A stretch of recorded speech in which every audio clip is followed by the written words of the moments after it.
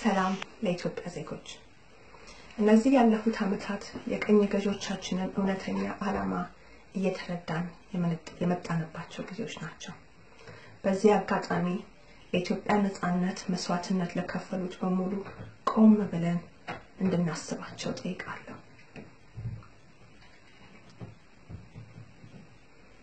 ብዙ ሰው ብዙ በደል ደርሶበታል።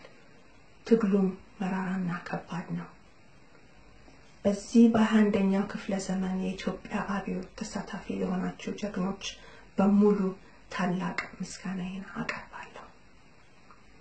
በቅርቡ አሻንጉሊቱ ጠቅላይ ሚኒስትር ስልጣናቸውን ለቀዋል። ምክንያታቸውም የችግሩ ሳይሆን የመፍትሄው አካል መሆን እፈልጋለሁ ነው ያሉ። አነጋገራቸውም አቀራረባቸውም ግሩም ነው። ነገር ግን የእሳቸው ስልጣን መልቀቅ አሁን ኢትዮጵያ ለገባችበት ችግር ምንም ፋይዳ አይኖረውም። መጀመሪያም ስልጣን የሌላቸው ባለ ጠቅላይ ሚኒስትር ስልጣን ላይ ኖሩ አልኖሩ ልዩነት አያመጣም። ደግሞ ቀኝ ገዢዎቻችን አምጥተው የሚጭኑብን አሻንጉሊት ጠቅላይ ሚኒስትር የኢትዮጵያ ሕዝብ ላነሳው ጥያቄ መልስ አይሆንም። መልኩ ቢቀያየርም አሻንጉሊት አሻንጉሊት ነው።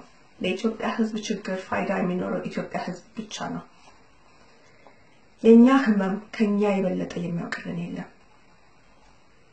የኢትዮጵያ ሕዝብ ነፃነቱን የሚቀዳጀው በተአምር ሳይሆን አሁን በተጀመረው ከባድ እና መራራ ትግል ነው። ሁላችንም እንደየአቅማችን እንደየችሎታችን ለዚህ ትግል መሰለፍ ይኖርብናል። በጸሎት በጾም መሰለፍ የሚፈልገውን በዛም በጭንቅላቱም በተለያየ በማህበራዊ ገጻትም ዜና እየሰበረ ለመሳተፍ የሚሞክረውን በዛም ይሳተፍ።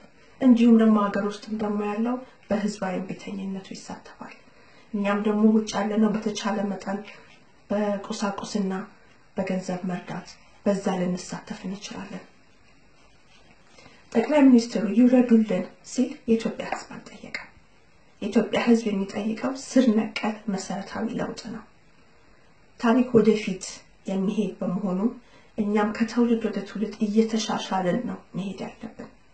በመሆኑም እኔ እንደገባኝ የኢትዮጵያ ህዝብ ጥያቄዎች የሚከተሉት ናቸው። አንደኛ ከህዝቡ የተውጣጣ በህዝቡ የተመረጠና ህዝቡን በሚያገለግል መንግስት መተዳደር። ሁለተኛ የመናገር፣ የማሰብ፣ የመኖር፣ የመስራት፣ የጤና፣ የመንቀሳቀስ እና የመደራጀት መብቱ እንዲጠበቅለት። ሶስተኛ በገዛ ሀገራቸው ባይተዋር እና ሁለተኛ ዜጋ ሳይሆኑ ያለመኖር መብት። አራተኛ ሰው በሰውነቱ የሚከበርበት ሀገር ውስጥ መኖር እንጂ ብሔረሰቡና ነገዱ እየተቆጠረ የሚጠቃና የሚገደልበት ሀገር ውስጥ ያለመኖር። አምስተኛ ኢትዮጵያችን ኢትዮጵያችን ኢትዮጵያኖች የሚጠይቁት የሚያምኑት የሚጠብቃቸው የሚያስከብራቸውን መንግስት እንጂ አገራቸውን እየሸነሸነ የሚሸጥባቸው እና ልጆቻቸውን በየጎዳናው የሚገልባቸው መንግስት አይደለም። በአጠቃላይ ኢትዮጵያኖች የሚጠይቁት በሰለጠነው ዓለም መሰረታዊ የሰው መብት የሚባሉት የሚባሉትን ጥያቄዎች ነው።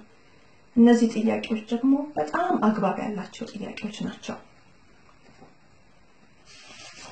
ነገር ግን ይህ ቀኝ ገዢ መንግስት የኢትዮጵያ እድገት ደረጃ ገና ለዲሞክራሲ አላበቃትም፣ አዲስ ለተወለደ ልጅ ስጋ የመስጠት ያህል ነው እያሉ ይሳለቁበታል፣ ንቀውታል። ዛሬ ኢትዮጵያና ኢትዮጵያኖች የታሪክ መስቀለኛ መንገድ ላይ ቆመናል። ዛሬ የምንወስዳቸው እርምጃዎች የነገን ማንነታችንን የሚወስኑ ይሆናሉ። ዛሬ የሰነቅነውን ነው ነገ ለልጆቻችን የምናወርሰው። በመሆኑ ልናወርሳቸው የምንፈልገው ሰላምን፣ ብልጽግናን፣ ደስታን ከሆነ አንድነትን መምረጥ አለብን። ቀኝ ገዢዎቻችን ላለፉት ሀያ ሰባት ዓመታት ከፋፍለው ገዝተውናል። መከፋፈላችን ነው ድክመታችን የሆነው። በአሁኑ ጊዜ ያልተጎዳ ኢትዮጵያዊ የለም። ሀዘኑ በሩን ያላንኳኳበት ኢትዮጵያዊ የለም። ለምንድን ነው አሁንም እየተገዛን ያለ ነው ብለን ብንጠይቅ መተባበር ስላቃተን ነው። በተለያዩ ሰዎች በተለያዩ ጊዜያት አንድነት አንድነት አንድነት ተብሏል። ዛሬ ያ የተናገርነውን በተግባር የምናውልበት ጊዜ ደርሷል። ህዝቡ ይመሩናል፣ ያስተምሩናል ብለው የምንመካባቸው ክፍሎች ከሚያስፈልገው በላይ የሚቀጥለው ጠቅላይ ሚኒስትር ማን ነው በሚለው ጥያቄ ላይ ጊዜ ሲያባክኑ እናያለን። ቀኝ ገዢ መንግስት ማንን አምጥቶ እንደሚጭን በመነጋገር ወርቃማ ጊዜን ማቃጠል ብቻ ሳይሆን እኔ ይሄ ውሃ እንደ ሙቀት ሆኖ ነው የሚታየኝ። ሲኤንኤን እና ቢቢሲ አይነት ጣቢያዎች የሚያደርጉትን የፖለቲካ ትንቢት ጨዋታ አሁን ጊዜውም ቦታውም አይደለም። ህዝብ እየሞተና እየተሰደደ ያመጣውን የመንግስት ስልጣን መንገጫገጭ እንደዚህ አሳንሶ ማየት የህዝቡን መስዋዕትነት ማቃለል ነው ብዬ ነው ማምነው። ሲኤንኤን እና ቢቢሲ ያሉበት ሀገር ጠዋት ማታ ህዝቡ መብቱን ስለጠየቀ ብቻ በጥይት አይደበደብም። የእኛ ህዝብ ዛሬ እሳት ውስጥ ነው ያለው። ደግሞ የገረመኝ የሚቀጥለው ጠቅላይ ሚኒስትር የኢትዮጵያው ዴክለርክ ሊሆን ይችላል ሲባል ሰምቻለሁ። የአፓርታይድን ስርዓት ይበጣጥስልናል። ይሄ ህልም እንደውም ቅዠት ነው ለማለት እደፍራለሁ። ዛሬው ዋናው መልእክቴ ለኢትዮጵያ ህዝብና ለኢትዮጵያ ተቃዋሚ ፓርቲዎች ነው። መልእክቴም የሚከተለው ነው። ቀኝ ገዦቻችን እየደከሙና እየተብረከረኩ ነው። ይህንንም የሚደግፉ ብዙ ድርጊቶች አይተናል ባለፉት ሳምንታት። የጠቅላይ ሚኒስትሩም ከስልጣን መውረድ ከነዚህ ምልክቶቹ አንዱ ነው። ይህ የሚያሳየው ወደ መጨረሻው እየተጠጋን ነው እንጂ አከተመ አለቀለት ማለት አይደለም ገና። እንደውም መጪው ጊዜ በበለጠ አስቸጋሪና መራራ ትግል ጊዜ እንደሚጠብቀን ማሰብ አለብን። ባለፉት 27 ዓመታት የተማርነውን ትምህርት ሳንረሳ የሚመጣውን ትግል ለማሳጠር መሞከር አለብን። አንድ እንሁን፣ እንደጋገፍ። ቀኝ ገዢዎቹን የሚታገሉትን በሙሉ እንደግፋቸው፣ እናክብራቸው። እርስ በራሳችን አንዘላለፍ፣ አንጠላለፍ።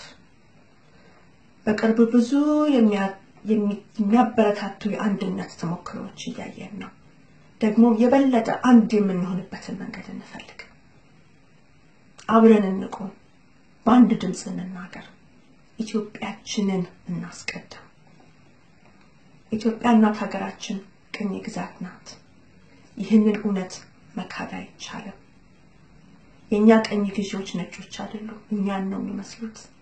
ነገር ግን ቀኝ ገዢነታቸውን አይቀይረውም። አልገዛ ያለን እምቢተኛ ህዝብ መግዛት አይቻልም። ታሪክ የሚያስተምረን በትግል በአንድነትና በህዝባዊ እምቢተኝነት ብቻ ነው ቀኝ ገዢዎችን መጣል የሚቻለው። የራሳችን ባለቤት እንሁን፣ ታሪካችንን እናድስ፣ ሀገራችንን እናስመልስ። ዛሬ ጨልሞ ቢታይም አንዳንድ ጊዜ ተስፋን ቢያስቆርጥም ነገር ግን ሁል ጊዜ በመጨረሻ ድል የህዝብ ነው። እናሸንፋለን። ኢትዮጵያ ትቅደም። ስላዳመጣችሁኝ አመሰግናለሁ።